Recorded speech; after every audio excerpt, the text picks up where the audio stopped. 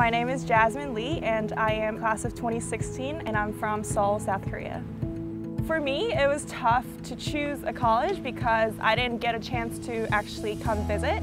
I knew that I wanted to go to school in the States, so I talked to a lot of current students and the staff at colleges and Dickinson really was one of the most friendliest and nicest experience that I had uh, when I was talking to people. My campus visit was looking at photos on the website. So when I first got here, I realized how pretty the campus was, and that's something that I still appreciate after four years of being here. I grew up in big cities like Seoul, Shanghai, Beijing, which, you know, they're very different from Carlisle, Pennsylvania. I think freshman year is always tough. You know, you're just trying to make new friends, adjust into a new environment.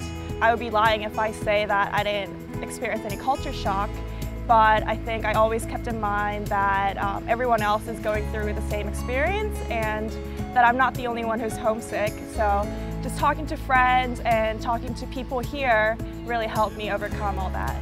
I joined a lot of clubs and activities when I was a freshman and sophomore, so that definitely helped me uh, expand my network here at Dickinson.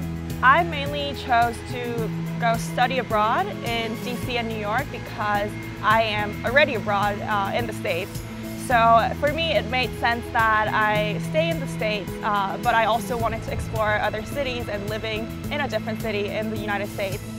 I think Dickinson really helped me uh, find my interest, especially in my major. So because I major in international business management here, uh, Dickinson really helped me find internships, uh, network with people who might share the same interests, and that's really how I found uh, what I wanted to do after four years of college.